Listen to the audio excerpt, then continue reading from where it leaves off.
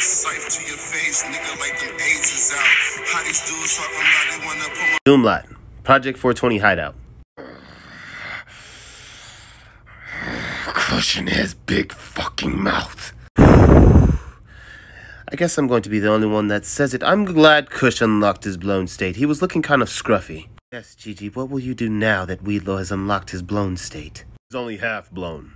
What? What, what did, he, did you just say? Half? That is ridiculous. I could not even imagine. Since Kush can't keep his goddamn mouth shut, he's only made this worse for himself. This is nonsense. Have you even taught them how to fight someone that has an infinite power source. Said this was a test. Watch your tone with me, Sour Diesel. Kids were sent out there to do a job, and if they can't, I have second options. Is that right? Yes. Good.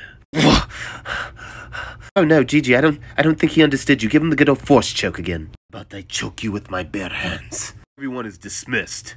oh, right, uh Blunt face killer, you just follow Northern Lights. Bullshit. Why stick him on me? Sour Diesel's the one that you're mad at. You talking back, Northern Lights. Fuck it, you're right. I'll take the science experiment with me. Come on, you awful god-dreaded thing. All the Project 420 members had left, and White Widow had walked over to Gigi. So you've sent them to die. What does that mean for us? My love, if anything, I've sent them out there to get stronger.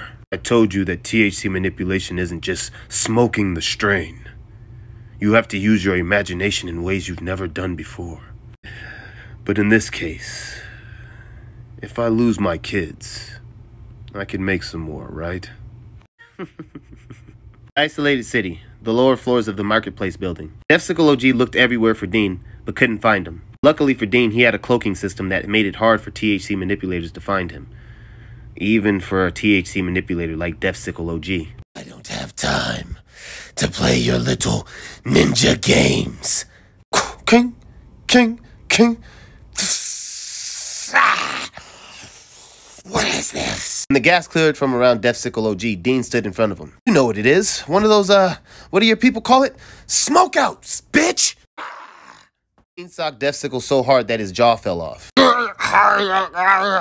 That's gross. Defsicle OG leaped forward at Dean, making a huge mistake. Dean moved out the way, invading Defsicle OG, and then came in with the combo of punches. Uh-uh, don't touch!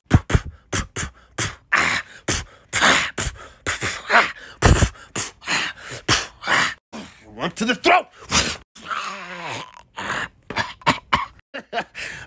a skeleton with a neck. Ironic.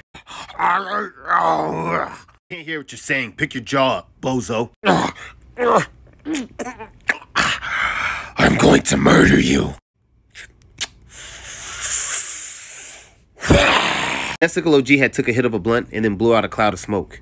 He then touched the smoke and started to form it into a huge scythe-like weapon. When he was done forming the weapon, he grabbed it, and it turned into a solid scythe. Will fall to the sickle scythe. Oh, gee willigers, God forbid there be a skeleton with a scythe. How cliche are you gonna keep getting?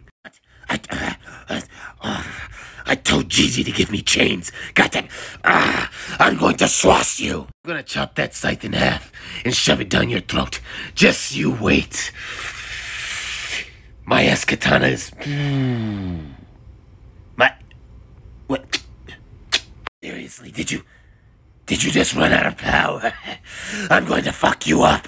So what you mean is you were afraid before I lost my powers, but now you have full confidence. Yeah, I'm going to trash you. Think I trained to be an SDU soldier to let some serum determine if I win a match or not? I'm crazy without that shit. What's going on, everybody? It's your boy Dar Universe, and thank you for watching another episode of Weedlow, the man with the infinite blunt. Join us next time where we're going to get back to the resin and the THC misfits.